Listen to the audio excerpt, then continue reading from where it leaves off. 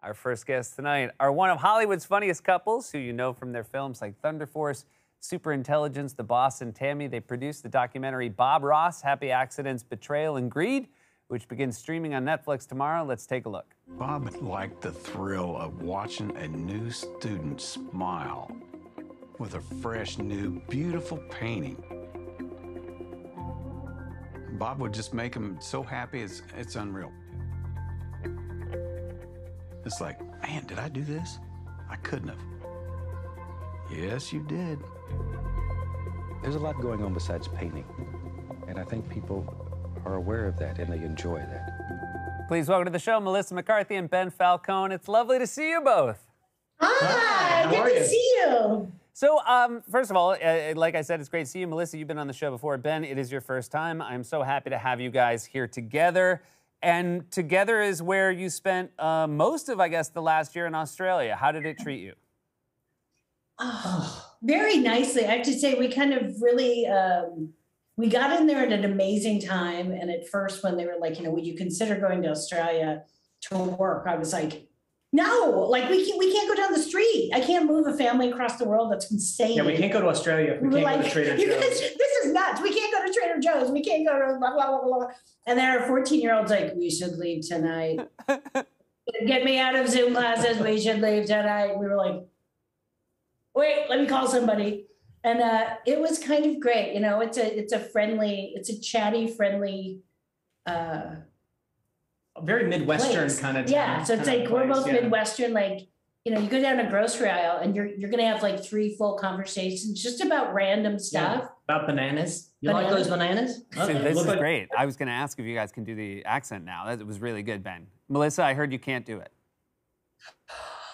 I think I think I can do a few things, but then any Australians like that's awful. Let's But hear. I like nar because they Yeah. put it O I R at the end of nar, and then I I we shave with rizoblites. Yeah. Oh, that's Rise Up Lights. rise up lights. Rise up lights really fast is. Oh, I've got some rise up lights. Rise Matt just said, "Don't move your mouth." and This is very, very helpful. Hey, I want to Yeah, ask this uh, uh, when you guys when you guys travel across the world or whenever you travel together, because Ben, uh, you famously played an air marshal in Bridesmaids. For my money, uh, one of the funniest uh, movie scenes that ever took place on an airplane. When you guys travel together, is it jarring for other people on the flight? Um, I think they're always a little bit like, ha ha, and they're like, and or they're like, oh my god, you guys got married after that? And I was like, well, we were married. They're like, right. Well, one time, one time, a drunk uh, guy did say, uh, "Hey, you gonna keep us safe?" And I was like, "Yeah, you know, I'll, I'll try to." And he goes, "Seriously, are you gonna keep us safe?" And I was like, "You know, what do you say at that?" I was like, "It was a, it was a movie."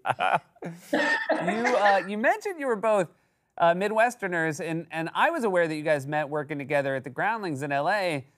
But then you actually hadn't met then. You had met back eh, when you were growing up in, in Illinois. We had had an encounter. I think I can call it that, which was I've never called it. Ooh, that. you so serious. We're breaking news here. Very- it's getting very nighttime. Um, we I went to college at Carbon uh, SIU Carbondale, uh, Southern Illinois, which is where Ben grew up. He's three years younger than me, so I was a freshman when he was still in high school, and when we, we became friends uh, in LA, like a week into it, he was like, "Oh my God." I know who you were. And I was like, no, you don't. You would never recognize me. No, and he's like, no, I did. I I I, I think I know who you were. And I said, and he goes, no, I was afraid of you. And I was like, oh my God, that was me. When- Once, once I mentioned that she uh, struck terror in certain people, she was like, "Yep, that was me," because she was very, very goth, very, and all my, uh, you know, friends who were of that age were like, "Oh my god, I wish my mom would let me dress like her." And, kind of it's, stuff. and really, all I was doing is I was so hot because in Southern Illinois in like August, to commit to a full length cape and like opaque tights, you're digging in in a way that nobody should. So, Ben, the you know, first time you laid eyes on your wife, she was caped. Is this what we're hearing? Yeah, it was probably the dead of summer, and she had a very heavy cape and uh, a, a, a kind of a nice, a nice uh, shade of blue hair. That's a well, you know. And his eyes just went to hearts. so you guys um, started. I think a lot of us had to find ways to entertain ourselves over the past 18 months. Uh, you started a movie club uh, with some of your friends, a thematic movie club, and you were like very much at the beginning of it because you've really charged through a lot of films. It, Yeah. it started with we were just like we're not. Um, I'm just scrubbing fruit all day with Clorox wipes, which by the way don't do that. But in the beginning, I think we were all like, I don't know, how do you how how clean is clean? And we were realizing like we weren't having any connection to anybody when we were all so, I mean, as we all did. And so we're like, let's zoom and we'll have like Friday night drinks with a couple people. And then literally they're like, oh, well, we all know, let's add a couple people, add a couple people. And Ben said, uh, he's like, my brain's going to mush. I need to do something. I'm going to start and watch every single Best Picture winner from the Academy Awards. Yeah, from we decided to start at 1960, and it's that sort of thing. You know, when the pandemic started, we were all going to take piano lessons and learn a bunch of languages. And I'm gonna oh trig, you got it, trigonometry. I I got gotta it. get my master's, Yeah. although I never got past freshman year in regular college, but whatever.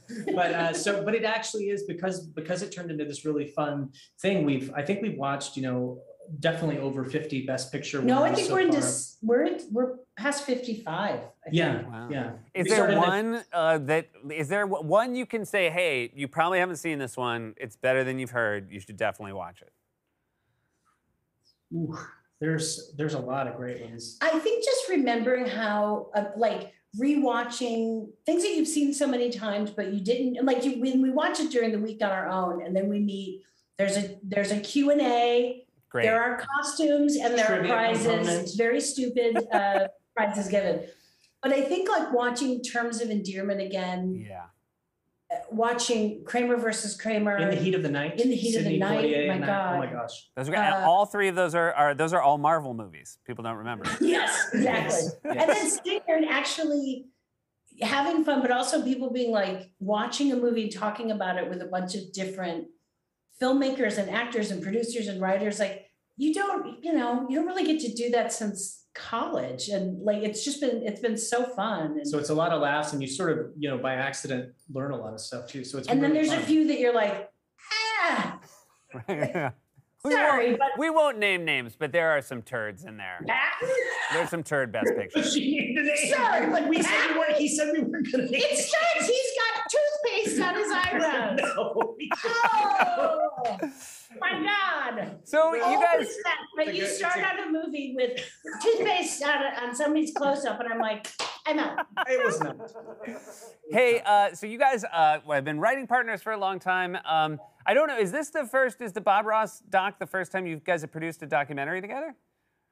yeah Yeah. It's And so, too. what brought it about? Well, you know, I'm uh, super interested in Bob Ross and, and have loved him for a long time. And I actually wanted to write a biopic about him, uh, half because I'm interested and half because she's always wanted me to have a perm. So I really do. so I was, and so I did your basic, you know, cursory, how do, what do you find, you know, we, we no longer go to the microfiche, you know, you go just and look on Google and like, all right, Bob Ross news or whatever. And um, there's nothing there. So it was really interesting to find it in this day and age. You can find, I'm sure if we Google you, there's zillions of pages of stuff, and you'll be like, I don't even know what some of this is. Um, but there was is- nothing. Yeah, which is just so we were like, wait, how how can anybody that that well known, you know, for this many years, there's only like three small bites of information. So it just made us really kind of start to wonder what what is the story there. And then we met these, you know, great documentary filmmakers, and they were like, you know, are you guys thinking of doing anything? And they they had just done Lorena, and um, and then you know we said, what what about Bob Ross? He's kind of like we're currently down like this wormhole of like what is the story, and they just they loved it, and they went. It's such a different process. They went right into kind of this like investigative research. We're going. It's feet on the ground, knocking on doors. It was like was exciting. And there's a certain poetry to it because the way that uh, our filmmakers, Joshua and Stephen, um, you know, described it to us, is they said, you know, sort of something akin to, you know, the movie reveals itself to you. And I was like, well, we should do that. Like, That's what I was going to say. It really does, though, and it's it is fascinating. Like what you say, I think we all just assume we know everything about him, and then you realize you don't actually know a single detail other than his hair or that he paints, and it's really a wonderful documentary because of how much uh, we find out. Oh, Oh, thanks. good. Glad you liked it. But You Yeah, guys, uh, it is so lovely to see you as always. Uh, I wish you the best, and hopefully next time I can see you in person. I hope the same thing. Your hair right, looks fantastic. Still great hair. Bob Ross, Happy Accidents, Betrayal, and Greed begins streaming on Netflix tomorrow. and Nine Perfect Strangers is streaming now on Hulu.